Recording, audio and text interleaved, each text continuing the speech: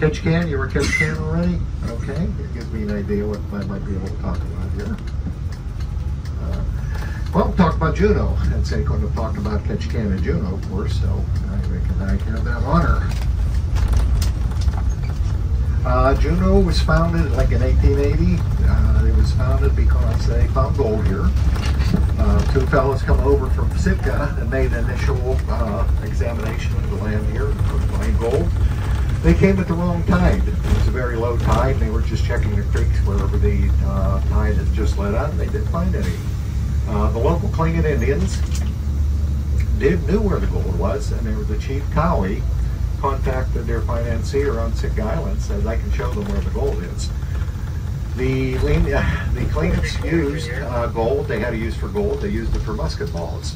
So obviously they did not have the same value for gold that uh, the settlers did, or the people who came here looking for gold. Uh, there's been um, a lot of gold taken out of these mines. I'm sorry I don't have the exact figures, but I do know that this mountain to right here, Mount Roberts, where the tram goes up, uh, there's more Oh, miles of here. mining tunnels in that mountain than there are roads in Juneau. And uh, across the, across the water there, you came in on the Gastineau Channel. Across the water there, that's uh, Douglas Island. And there was a um, somebody came up, uh, double mine, uh, found gold there, constructed a mine. It was called the Treadwell Mine. And it the this was in the 1880s, and he sold in the 1890s for like 1.7 million dollars, which was a vast fortune then. And he took his money and he went to Southern California, invested in real estate. And uh, Mr. Treadwell went broke, investing in what is now known as Hollywood, California. Huh. Very classic case of being in the right place but the wrong time. Uh, straight ahead is a, uh, a saloon of note. It is the Red Dog Saloon. It's been here since the early days of Juneau. That's where I want to go. And inside, uh, when in the early days, some notables came through here. One of them being Wyatt Earp. Uh, Wyatt Earp went, went and checked his gun at the door one time, which was required by the city of Juneau, and he forgot to get it. So if you stop in later to the Red Dog Saloon, you can see Wyatt Earp's gun sitting behind the bar uh, in a frame. Uh, they have a unique drink there. It's something called a duck fart. Oh, no way. Oh yes. and uh, the story was that someone, when they were testing the recipe, some woman uh, went into fits of that. so they said this would be a good uh, drink name for the drink. It is um, the there's three layers to it. The first layer is the Bailey's, the second layer is Kahlua, and the final layer is Crown Royal. Ooh, sounds good. All right, we got some takers here. And that's uh, sawdust on the floor in there. They try to keep it looking really old time. And the reasons the old time saloon keepers put sawdust on the bar was for a couple reasons. Number one, when the fights broke out, it was a lot easier to clean the blood up. And also that the um, miners in those days would pay for a lot of their drinks with their gold. And sometimes gold is not in uh, necessarily nice little nuggets. It's in uh, flake form. Uh, tends to be really small. So when they were paying for their drinks, uh, they were losing a lot of some gold on the floor. And once a week or so, they would take all that, sweep all that sawdust out of there and put it in water. And of course, uh, gold would sink to the bottom and the sawdust would float away and they would get a little bit more for their drinks.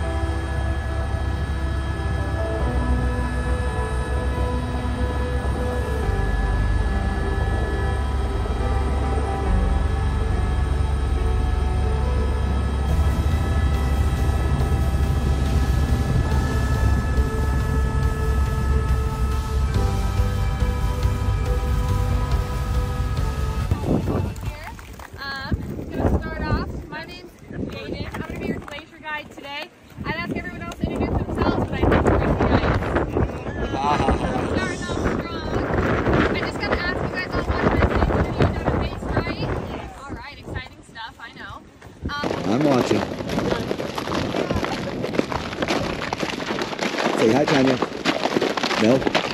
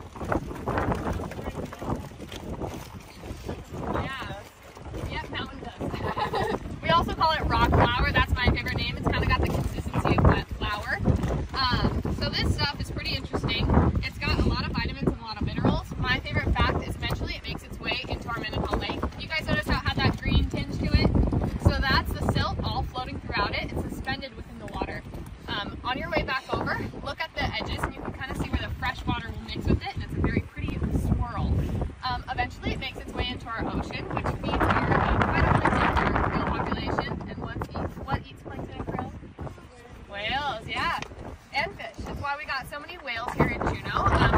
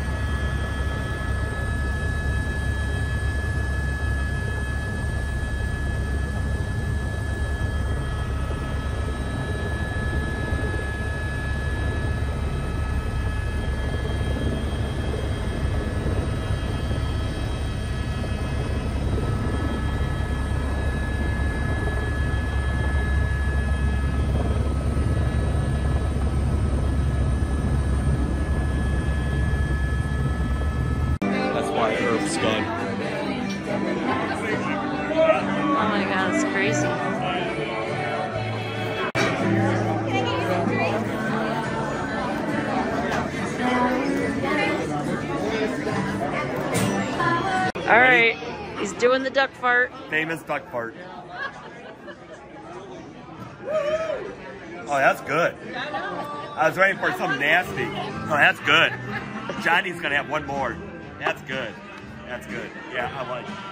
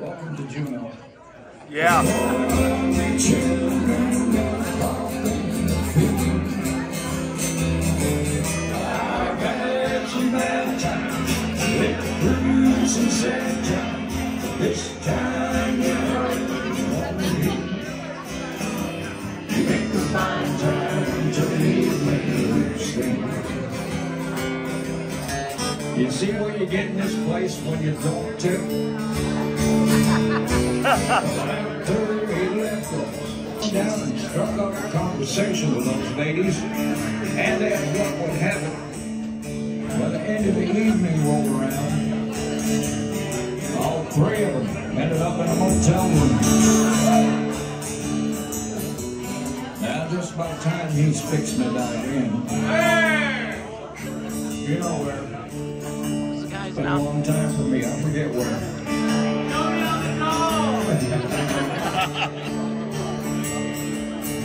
Get in trouble for that too. well, the door flew open. In come Lucia. Needless to say, she's not real happy with what she sees going on in the room. And as she starts beating this guy about the head and shoulders, you can hear the poor guy moaning.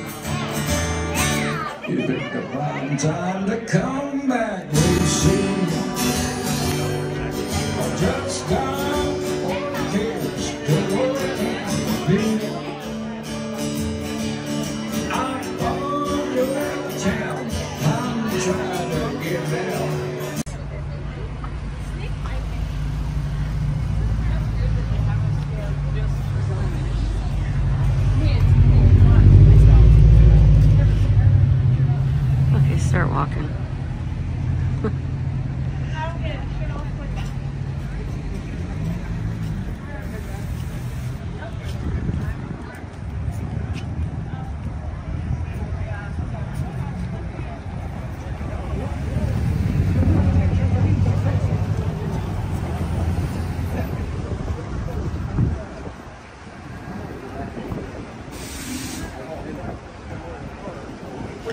Lift's going too, John.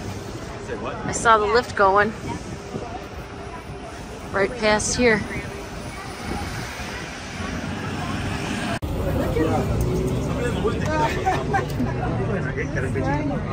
He's a pet, obviously.